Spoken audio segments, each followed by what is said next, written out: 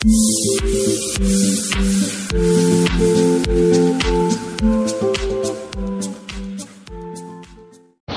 friends welcome to my channel इस video में हम आपको 32 फीट बाई 52 फीट का एक प्लान बनाएँगे जो कि दो पार्ट में अगर दो भाई हैं, दोनों में बंटवारा हो या ना हो, भविष्य में जाके बंटवारा हो सकता है। इसको ध्यान में देने के लिए ध्यान में रख के हमने एक प्लान डिज़ाइन किया है, जो कि आप देख सकते हैं। इसको हम थोड़ा बड़ा करके दिखाते हैं आपको, ठीक है? ये यहाँ से हमने इसे किया हंड्रेड परसेंट, ठीक? ये हो गया ओपन, ये आप देख सकते हैं थर्टी टू फीट चौड़ा है और फिफ्टी टू फीट इसकी लंबाई है, ठीक है? इसकी कुछ स्पेसिफिकेशन है जो आप देख सकते हैं।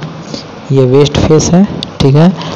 डी डी टू और डी थ्री तीन टाइप की डोर इसमें लगी है, ठीक? तीन फीट छः इंची, बाई सात फीट डी टू है, तीन फीट सात इंची और डी थ्री है डी टू टू फीट छः इंची। विंडो है फाइव फीट बाई चार फीट और डी टू है, तीन फीट चार इंच और वेंटिलेटर दो फीट छः एक फीट, दो फीट छः इंची बाई एक फीट छः इंची है, ठीक है? चलिए स्टार्ट करते हैं। स्टार्टिंग में हमने क्या किया? एक बेडरूम बनाया दस फीट छः इंची चौड़ा और बारह फीट लंबा, ठीक है? और इसके बाद इसी माटे टॉयलेट दे दिया, चार फीट का। ठीक? जिसकी लंबाई सात फीट है और यहाँ पे एक ओटीएस दे दिया। इसका मतलब है ओपन टू स्पेस होता है, ठीक है? इससे पूरा, इस टॉयलेट का वेंटिलेशन यहाँ दे सकते हैं और इस बेडरूम का विंडो यहाँ पे लगा सकते हैं और ये ओपन रहता है ऊपर तक, ठीक है? और यही काम हमने इस साइड किया। सेम जो काम इधर होगा, वही काम इधर होगा। तो हम इधर का समझते हैं, इधर का आप खुद ही समझ लीजिएगा, ठीक है? इसके बाद हमने, इसके जस्ट बगल में किचन एक दे दिया। लगभग 12 फीट चौड़ा और 8 फीट छः इंची लंबा ठीक है? इसके जस्ट सामने हमने डाइनिंग रूम बना दिया। ये, ये ही एक तरह से मानिए आने जाने के लिए ठीक है? सात फीट छः इंची बाई आठ फीट छः इंची का पूरा ये पैसेज है इसमें अपना डाइनिंग रूम भी हम रख सकते हैं।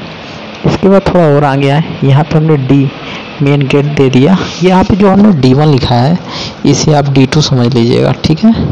डी वन को डी टू और डी टू को डी थ्री जो हमने दिखाया था स्पेसिफिकेशन उसमें थोड़ा मिस्टेक हो गया है। डी वन रहेगा डी टू और डी टू रहेगा डी थ्री ठीक है? इसके बाद हमने ड्राइंग रूम बना दिया यहाँ पे, दस फीट छः इंची चौड़ा और बारह फीट लंबा। इसके जस्ट बगल में, यहाँ पे हमने एक टॉयलेट दे दिया, जो हमने लिखा नहीं है। ये रहेगा टॉयलेट और ये जो हमने ओपन स्पेस दिया है इस टॉयलेट का वेंटिलेशन यहाँ से हो जाएगा और इस किचन का वेंटिलेशन इस जगह से हो जाएगा और यह है ड्राइंग रूम ठीक है? इसके बाद एल सेप स्टेयर यहाँ पे दे दिया गया है, जिसे अगर और बड़ा करें हम, और थोड़ा इसको हम बड़ा करते हैं 125 और बड़ा कर लेते हैं 150 ठीक है? आप देख सकते हैं ये है एल सेप की स्टेयर और यहाँ पे बाकायदे 15 फीट चौड़ा और 16 फीट छः इंची का पार्किंग है। और ये मेन एंट्री गेट है। यहाँ पे आप चैनल लगा सकते हैं और इसके आगे अपना ये हमारा मेन रोड है।